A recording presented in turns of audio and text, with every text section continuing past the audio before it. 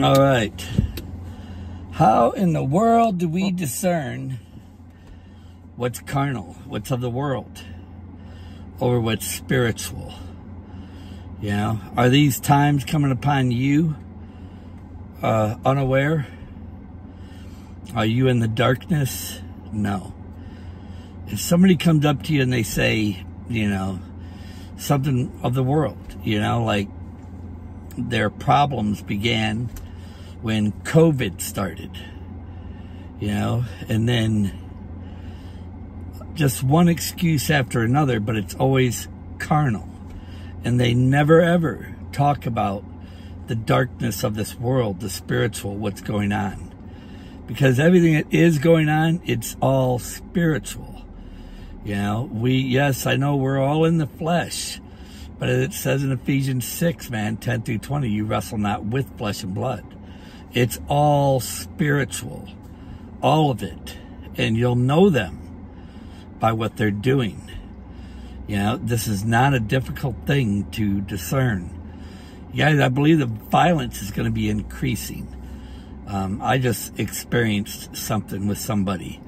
And uh, from the first time that I met this person, it was it was carnal. You know, I don't care if they're saying it's COVID.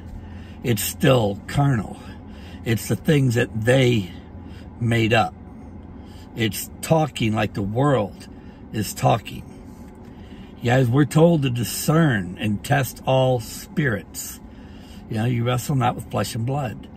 And I just found out from somebody, you know, because I, I questioned him about why you know, because he said his problem started with COVID.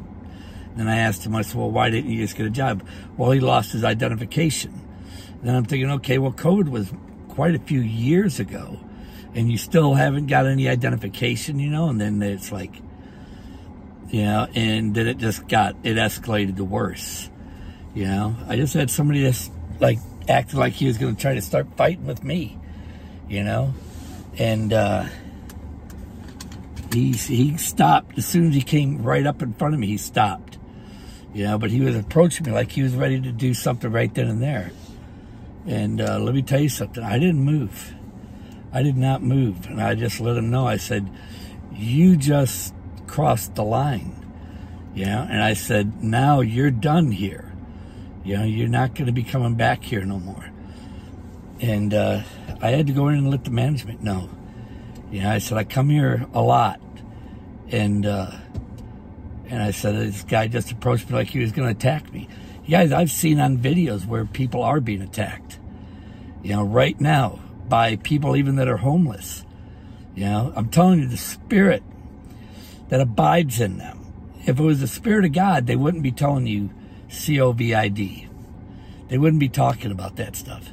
They'd be warning you about it but they wouldn't be blaming their problems on that.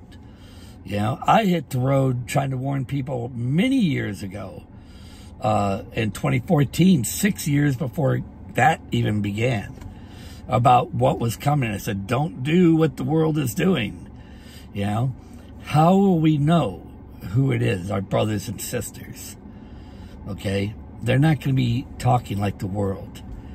You know, you'll know them, you know. Be careful, you guys. I'm telling you, it's going to get worse. Last night in that dream, I seen like a bunch of like sticks or something. They were all like scrambled and they were scrambled around. Then they started coming together, piecing together.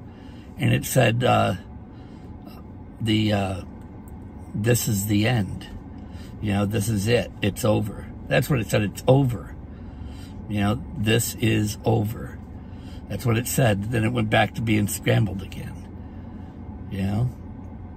And I'm and I'm talking to this other guy. I go, did you just see that? Did you see that? Did you see that? And then it scrambled away. In other words, they can't see it. An evil and wicked generation will receive no signs. So you'll know them by the way they're talking. You know, and I knew that a long time ago.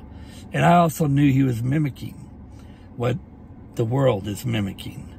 You know, and uh guns, their flags, all of it. You know, these are not the, the ways of the Lord in heaven.